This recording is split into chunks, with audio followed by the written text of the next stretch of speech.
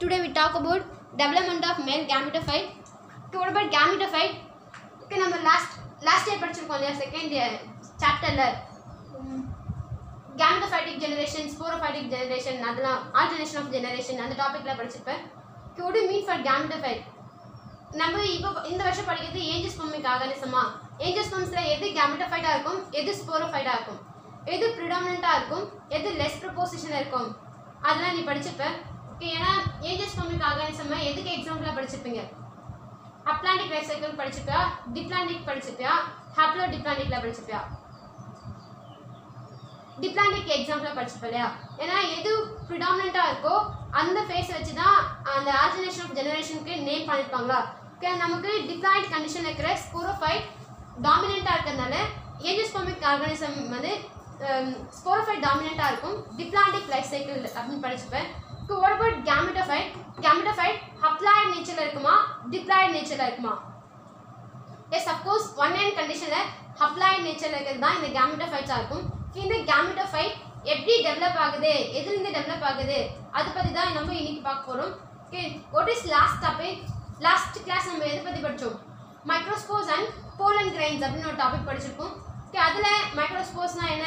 Pollen கிரைன்ஸ்னால் என்ன நம்ம டீட்டெயிலாக படித்தோம் okay what is the correlation between microspores and pollen grains are made gametophyte ஒரு இன்ஃபான்சிக்கும் ஒரு அடல்ட்டுக்கும் என்ன டிஃப்ரென்ஸ் இருக்கோ அதுதான் மோரலெஸ் அந்த டிஃப்ரென்ஸ் தான் இங்கே மைக்ரோஸ்போர்ஸ்க்கும் மேல் கேமெட்டோஃபைட்ஸ்க்கும் இருக்கும் okay what is microspores how the microspores are formed from which cells microspores are formed yes of course microspore mother செல்லேருந்து form ஆகிறது தான் மைக்ரோஸ்போர்ஸாக இருக்கும். அதான் நம்ம லாஸ்ட் கிளாஸில் படிச்சிருக்கோம். டூ கண்டிஷன் இருக்கிற மைக்ரோஸ்போர் மதர் செல்லேருந்து என் கண்டிஷன் இருக்கிற microspores reductional division or meiotic division மூலமாக ஃபார்ம் ஆகும் அப்படின்னு படித்தோம் இங்கே மைக்ரோஸ்போர்லேருந்து எப்படி மேல் கேமிட்டோஃபைட் ஃபார்ம் ஆகுது? அதுதான் அதுதான் development of male gametophyte okay நமக்கு இந்த மேல் கேமிட்டோஃபைட் டெவலப் ஆகணும் அப்படின்னா எதுலேருந்து டெவலப் ஆகும்? எது வந்து ஃபஸ்ட்டு செல்லாக இருக்குன்னா இந்த மைக்ரோஸ்போர்ஸ் தான்.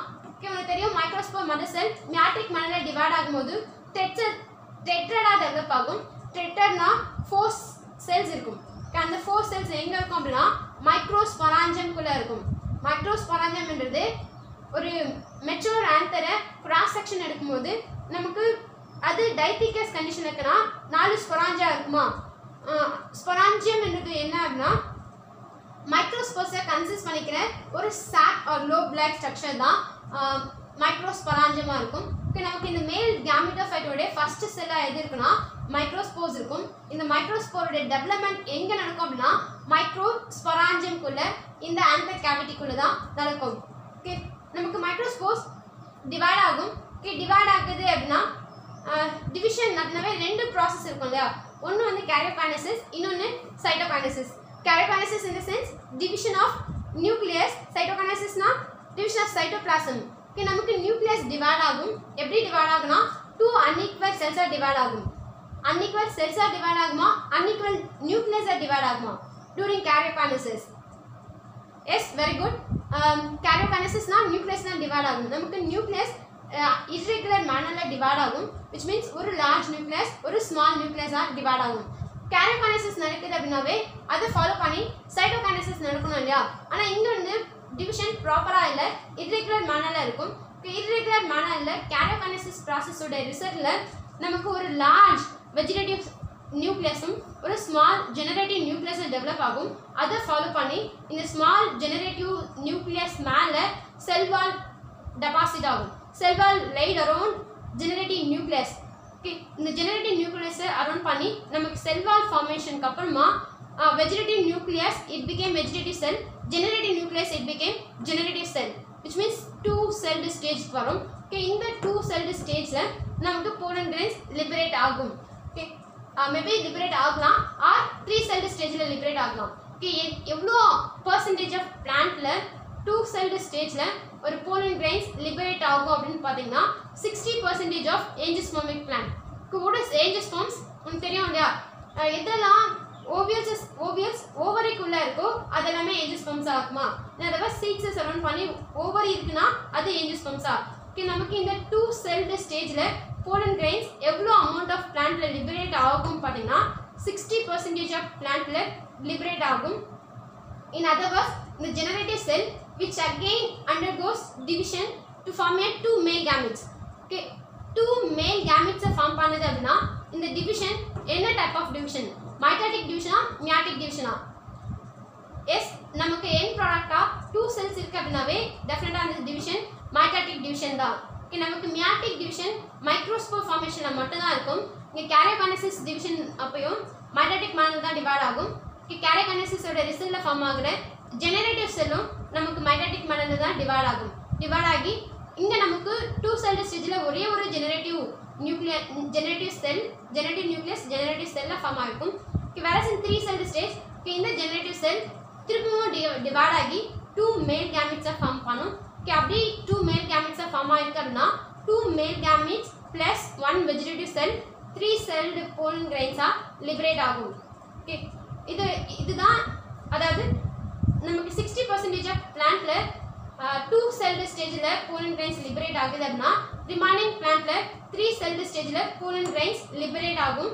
எப்படி த்ரீ செல்டு ஸ்டேஜ் ஃபார்ம் ஆகும் அப்படின்னா இந்த டூ செல்டு ஸ்டேஜில் இருக்கிற ஒரு செல்லாக இருக்கிற generative cell which again undergoes mitotic division to form a two male gametes. Uh, here two male gametes plus one vegetative cells totally three number of cells containing pollen or are liberated remaining 40 percentage of angiospermic plants இதுதான் fifth பாயிண்ட்ல சொல்லியிருப்பாங்க. Okay வரது sixth point நமக்கு மேல் கேமட்டோஃபைட்டோட growth ஃபர்தராக எங்கே develop ஆகும் பார்த்தீங்கன்னா ஓகே நமக்கு கரெக்ட் ஸ்டிக்மாவை போலன் கிரைன்ஸ் ரீச் பண்ணும். போலன் கிரைன்ஸ் இருந்தது லிபரேட் ஆன்தர் டெக்கீஸ் ஆகி போலிங் கிரைன்ஸை லிபரேட் பண்ணால் அது எங்கே வேணாலும் போய் டெபாசிட் ஆகும். எங்கே டெபாசிட் ஆனாலும் அது டெவலப் ஆகுமா க்ரோ ஆகுமானா கிடையாது. Okay, எப்போ ஒரு போலன் கிரைன் ரைட் ஸ்டிக்மாவை ரீச் பண்ணுதோ அதுக்கப்புறம் தான் அதோடைய further growth of male கேமட்டிஃபைட் text place ஆகும். எப்படி க்ரோ க்ரோ அப் ஆகும்? பார்த்தீங்கன்னா நமக்கு ரைட் ஸ்டிக்மாவை ரீச் பண்ணதுக்கு அப்புறமா அந்த போலன் கிரைன்ஸ் மாஸ்டரை அப்சர்வ் பண்ணும் மாஸ்டர் உனக்கு தெரியும் இல்லையா? ஹியூமிடிட்டி மாஸ்டர் ஈரப்பதமாக இருக்கிறது. க வீட்டில் இருக்கிற வா வாட்டர் கண்டென்ட்டை அது அப்சர்வ் பண்ணும். அப்சர்வ் பண்ணி வாட்டர் அப்சர்வ் பண்ணதுனாவே ஸ்வெல் ஆகும். ஸ்வெல் ஆ பல்ஜ் ஆகும் ஸ்வெல் ஆகும். ஸ்வெல் ஆனதுக்கு அப்புறமா இன்டைம் க்ரோ ஆகும். ஓகே உனக்கு இன்டைம் டேர்ம் உனக்கு தெரியும். ஏன்னா நம்ம மைக்ரோஸ்கோஸ் அண்ட் போன் கிரைன் படிக்கும்போது ஒரு ஒரு மைக்ரோஸ்கோப்ஸையும் சரௌண்ட் பண்ணி ரெண்டு வால் லேயர்ஸ் இருக்கும். இன்னர் லேயர் தின்னாக இருக்கும் எக்ஸல் லேயர் திக்காக இருக்கும். இன்டைன் தான் இன்டைனில் என்னென்ன செவ்வால் மெட்டீரியல்ஸ் இருக்கும்? Yes cellulose hemicellulose pectin பெக்டினோட என்ன இருக்கும்? ப்ரோட்டீன்ஸ் இருக்கும் கேலரிஸ் இருக்கும் அப்படிலாம் படிச்சோம். ஓகே இந்த இன்டைன் எங்கே எது வழியாக ஜோமினேட் ஆகும் அப்படின்னா ஜோம் போஸ் வழியா. உடஸ் ஜம்ப் போஸ் இந்த எக்ஸைன் வால் மெட்டீரியல்ஸ் எந்த இடத்துல டெபாசிட் இல்லாமல் இருக்கோ அந்த இடம் தான் ஜோம் இருக்கும். இப்போ இந்த எக்ஸைன் வால் மெட்டீரியல் ஸ்போரோபொலின் போலன்கேட் டெபாசிட் ஆகாம இருக்கிற இடம் தின்னாக இருக்கும். தின்னாக இருக்கிற இந்த ஏரியா வழியா தான் நமக்கு இந்த ஏரியா ரவுண்டாக இருக்குன்னா ஜோம்போஸ் ஆகும். இலாங்கிட்டா இருக்கு அப்படின்னா அது ஃபொரோஸ் ஆகும். இப்போ இந்த ரவுண்டடாக இருக்கிற தின்னாக இருக்கிற இந்த ஜோம்போஸ் வழியா இன்டைன் க்ரோ ஆகி போலன் டியூப்ஸாக ஃபார்ம் பண்ணும். அந்த போலன் டியூப்ஸில் தான் நமக்கு டூ செல்டு ஸ்டேஜில் இருந்து த்ரீ செல்டு ஸ்டேஜாக அது டெவலப் ஆகும். எப்போ அப்படின்னா கரெக்ட் ஸ்டிக்மாவை ரீச் பண்ணதுக்கு அப்புறமா அது ஸ்வெல் ஆகும். அப் மாய்ஸ்டர் அப்சர்வ் பண்ணி ஸ்வெல் ஆகும். ஸ்வெல் ஆனதுக்கு அப்புறமா இன்டைன் க்ரோ ஆகி கோலன் டியூப்ஸாக ஃபார்ம் பண்ணும்.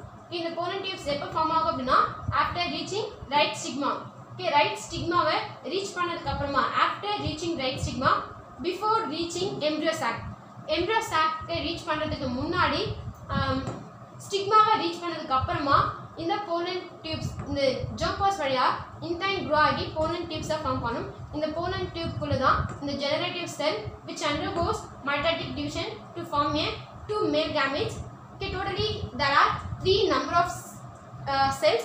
அதாவது two male cells two male gametes plus one vegetative cell மொத்தமாக த்ரீ செல்ஸ் இருக்கும். அதுதான் த்ரீ செல் ஸ்டேஜில் போலன் கிரெயின்ஸ் லிபரேட் ஆகுது டெவலப்மெண்ட் ஆஃப் மேல் கேமிட்டோஃபைட் அப்படின்னா என்னன்னு தெரிஞ்சிருக்கும்னு நினைக்கிறேன். இதில் இந்த ஃபோர்த் பாயிண்ட் ரொம்ப இம்பார்ட்டன்ட் ஏன் ஃபோர்த் இம்பார்ட்டன்ட் அப்படின்னா நமக்கு ஒரு செல் டிவைட் ஆகுது அப்படின்னா கேரகானிசிஸ் ஆஸ் வெல் சைட்டோகானசிஸ் ரெண்டு மாடனே டிவைட் ஆகலை. இங்கே கேரகானிசிஸ் மட்டும் நடக்குது. வேரஸ் சைட்டோகானசிஸ் இங்கே டெக்ஸ் பிளேஸ் ஆகலை. சைட்டோகானசிஸ் நடக்காமல் கேரகானிசிஸ் ப்ராசஸ் மூலமாக நமக்கு ஒரு போலன் கிரைன் டூ செல்டு ஸ்டேஜாக ஃபார்ம் ஆகுது. டூ செல்டு ஸ்டேஜ் த்ரீ செல்டாக டெவலப் ஆகுது. அப்படின்னா சைட்டோபிளாசம் எதில் லேக்கிங்காக இருக்குன்னு அர்த்தம். எஸ் வெரி குட் ஜெனரேட்டிவ் செல்லில் சைட்டோபிளாசம் லேக்கிங்காக இருக்குன்னு அர்த்தம். ஜெனரேட்டிவ் செல்லில் சைட்டோபிளாசம் லேக்கிங்காக இருக்குது அப்படின்னா சைட்டோபிளாசமிக் கேரக்டர்ஸை எது கான்ட்ரிபியூட் பண்ணுனா இந்த வெஜிடேட்டிவ் செல் கான்ட்ரிபியூட் பண்ணும். இதை பற்றி நம்ம ஜெனிடிக்ஸில் டீட்டெயிலாக பார்க்கலாம். தேங்க்யூ